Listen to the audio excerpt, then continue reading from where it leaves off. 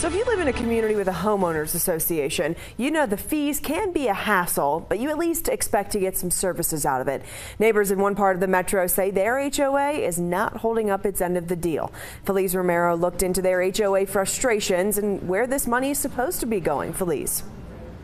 Julie, residents in Northern Meadows tell me maintenance requests are taking months, even years to get filled. And even at that, it's rare they're getting done. I took those concerns to the HOA to get some answers. Residents in Northern Meadows are fed up. For the first 10, 15 years, we had no problems. But in the last 10 years, it's went kaput. Leaking sprinklers and dead trees are just a couple of issues that came to mind when longtime homeowner Edward Urick told us about his problems with the HOA. Every time I've had issues with my lawn and I've called, I've never had uh, anybody come out and take care of my problems. I've had to take care of them all myself.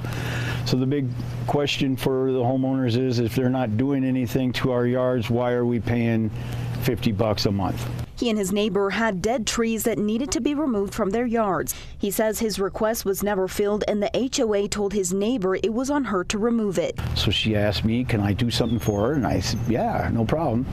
The neighbor down the block had a chainsaw and he's got a fireplace and so we cut it up and he took the, the wood home and uses the wood.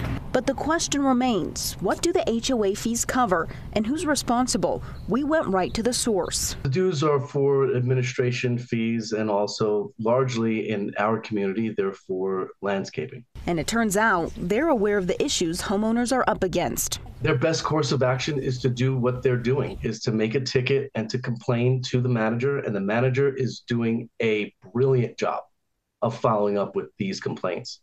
Um, we're having a hard time. And uh, yes, I, I, I, do hear the complaints that come in. With no real solution, residents are crossing their fingers and hoping for more transparency. Whatever contract they sign with the company that's doing the yard work is really bad. And, you know, like I said, I I think it's some money's being transferred underneath the table. I just don't know. But yeah, they uh, again, my yard only looks good because I'm out here watering every night. The vice president of the HOA tells me there's another meeting on August 28th at 6 p.m. where homeowners can further voice their concerns. We'll be following up and seeing how things go. Back to you. All right, Felice, thank you.